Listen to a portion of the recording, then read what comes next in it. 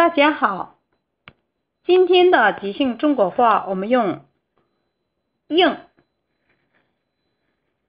这个词说一句话。“硬”的本意思……啊，这个错了字，应该是这个“硬”。这个是“硬”，一单的“硬”，你的一单的“硬”，你的“硬”，重新来，“硬”。硬的本意呢？硬的本意呢是当当的当，当当的当，当当的当。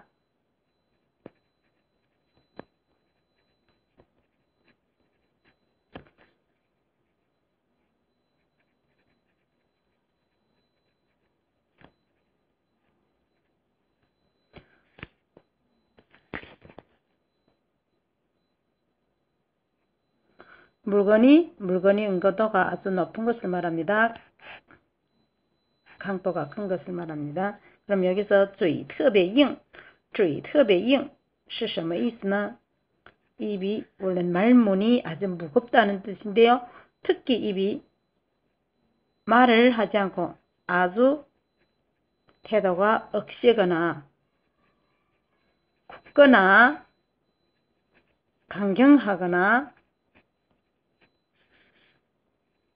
완강할 때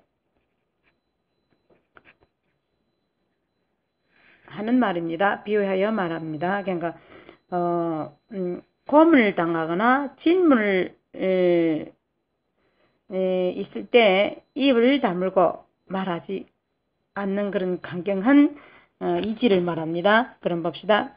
那个孩子嘴特别硬，怎么也不肯认错。 再听一遍，那个孩子嘴特别硬，怎么也不肯认错。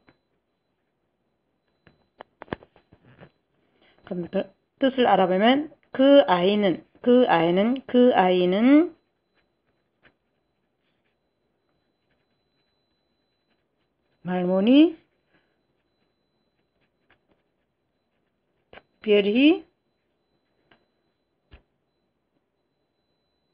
무거워 해도 되고 완강해 이래도 됩니다. 점의 부컬른초 아무리 해도 승인하지 않는다. 잘못을 승인하지 않는다 하는 뜻입니다.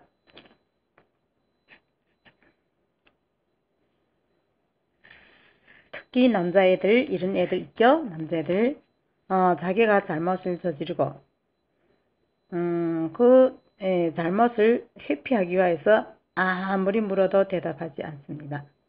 이때 이렇게 말합니다. 나가孩子 嘴特别硬怎么也不肯认错 그리고 这个硬呢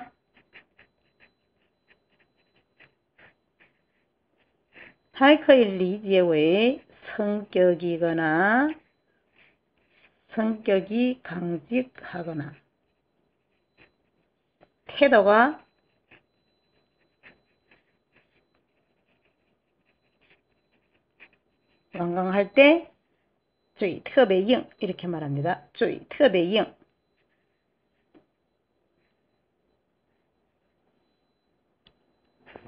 好，最后呢，我们把这个句子再读一遍。那个孩子嘴特别硬，怎么也不肯认错。好，今天的即兴中国话我们就说到这里，下次再见。